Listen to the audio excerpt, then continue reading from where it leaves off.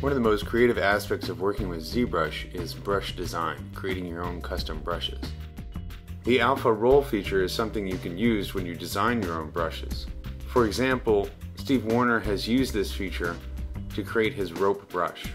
His rope brush uses a non-square rope alpha, a custom alpha he created, and he's turned on the roll feature so that as I drag on the surface with the brush, you can see the rope design clearly, and it also follows as I make changes in the direction of my brush. He's done the same thing to create his chain brush.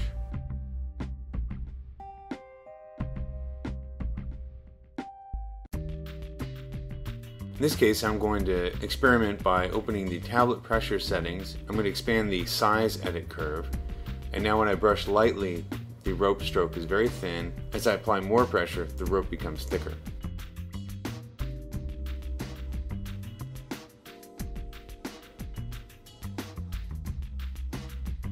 Let's see how we can create one of these brushes from scratch. I've created a non-square barbed wire alpha and this is a tiling alpha so as I draw it will tile perfectly.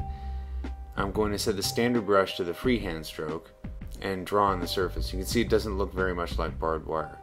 Now I'm going to go to the stroke palette and turn on the roll feature. And when I do this, you can see the alpha is rolled so the design starts to become more clear. I'm going to turn on lazy mouse and decrease the lazy step to about 0.1 and draw on the surface. Now I'm getting something that's starting to look like barbed wire. I'm going to lower the Z intensity just a little bit. And now it's starting to look pretty good.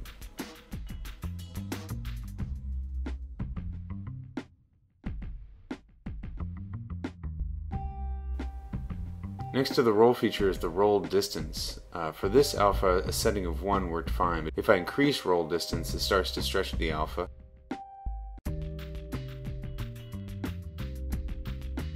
and as I decrease it, it compresses the alpha.